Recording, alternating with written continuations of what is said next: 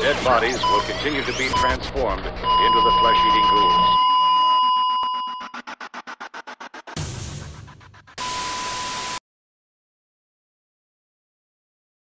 Hello, and welcome back to Pathophysiology of the Living Dead. I'm Spooky Bill. Spooky Bill's a wanker. Spooky Hey, Bill's a wanker. Knock it off, or I'll uh, zap ya.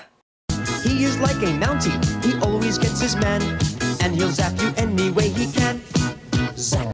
As I was saying, I'm Spooky Bill, and in this episode, and well, the next few episodes, we are going to step outside the body and discuss the pathogens that have been suggested to cause the uh, zombie plague. Now, this episode, we're going to focus mainly on viruses. Well, because it's come to my attention that not everybody really understands what a virus is, and well, not to single anybody out, You have no idea what it is, you? It could be microbial, viral, parasitic, fungal. Or the wrath of God? There's that. Now, I'm just a nurse, not a CDC doctor, but I can tell you that this is a virus. And probably by the end of the show, you'll be able to see that that's a virus as well.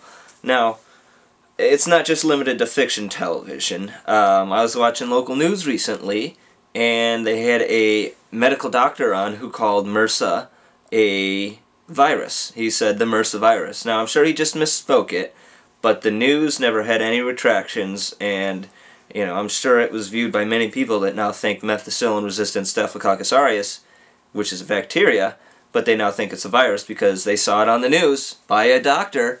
So, you know, and and the mistakes really, you know, I've even made a couple myself, you know, and we'll discuss that later. But uh, yeah, nobody's perfect. So, what is a virus? Well, a virus is well, it's like a pig in a blanket, right? Or or maybe a, a camper in a sleeping bag.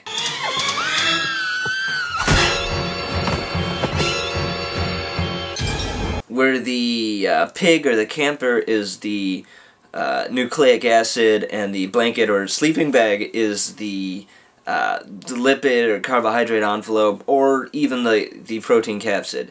Now, the nucleic acid, this is the bad stuff in a virus, right?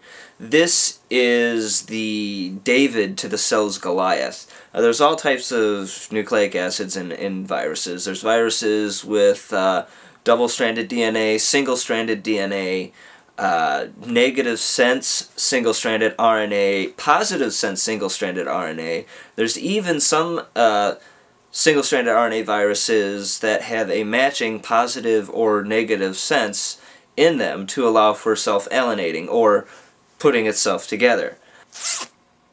Now, you also have retroviruses, single-stranded RNA and double-stranded DNA. Those we're going to talk about in the next episode.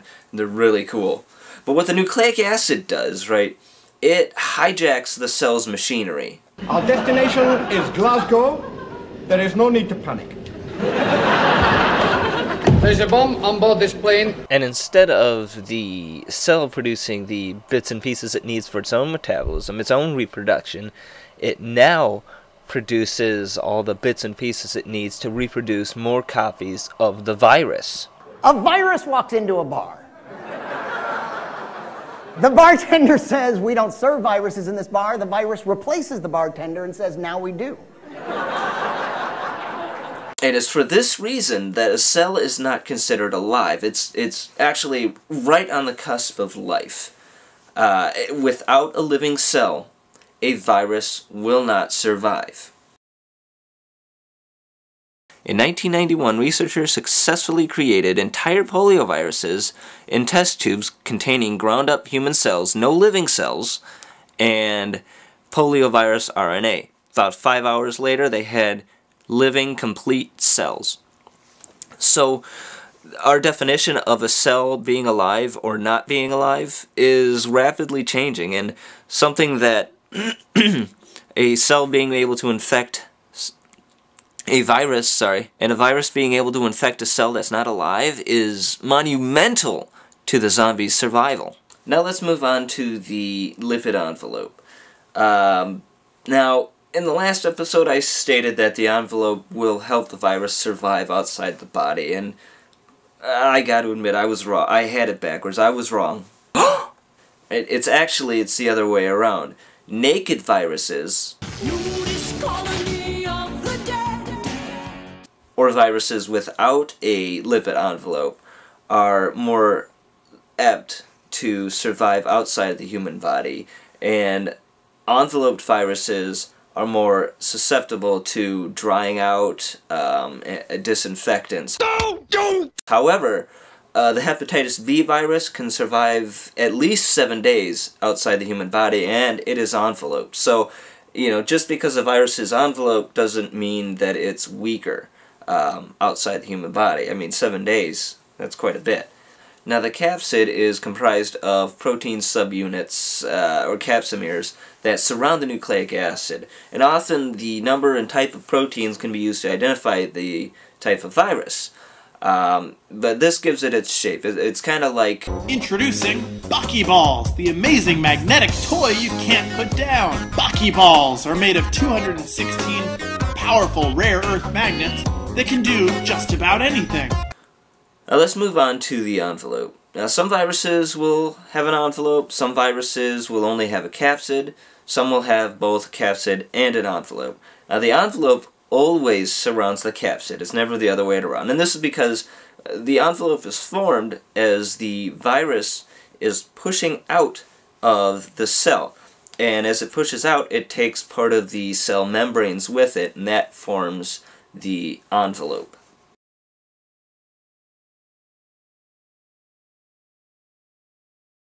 Now, as you may have noticed, some viruses have these spikes on the outside, and, and these are glycoproteins that uh, are sort of like keys that help the virus attach to specific receptors uh, or locks on the host cell. Now, I mentioned before that envelope viruses are more susceptible to the elements, uh, higher low temperature, higher low pH, drying out. But what are their benefits? Well, because they're actually formed from the cell membrane, their similarity to that membrane allows them to uh, blend in and fool the immune system to thinking that they're actually part of the body.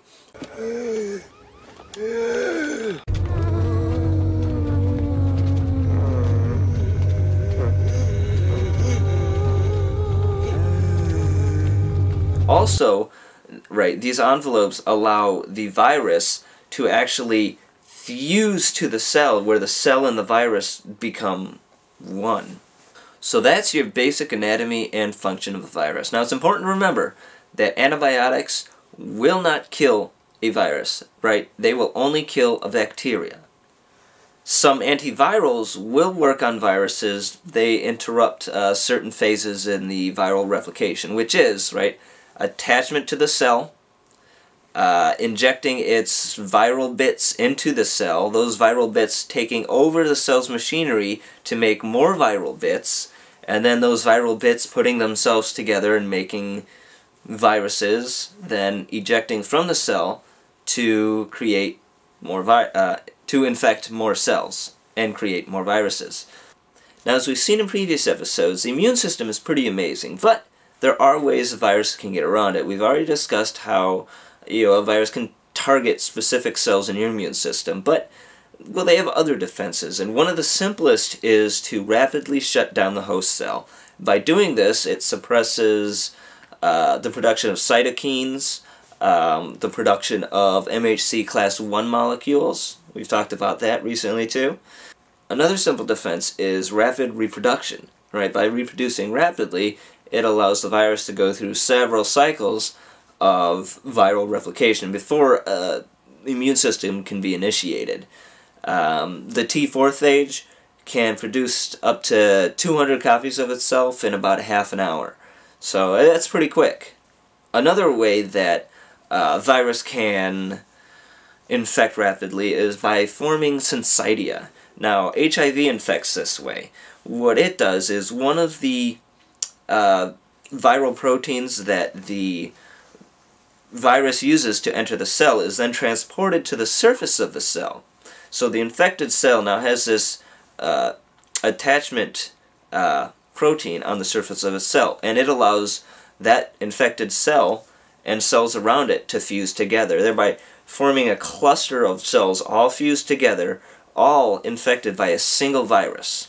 Other viruses will decrease or inhibit production of MHC class 1 molecules. Some adenoviruses produce a protein that binds the MHC class 1 molecule inside the cell, thereby inhibiting its expression on the surface of the cell.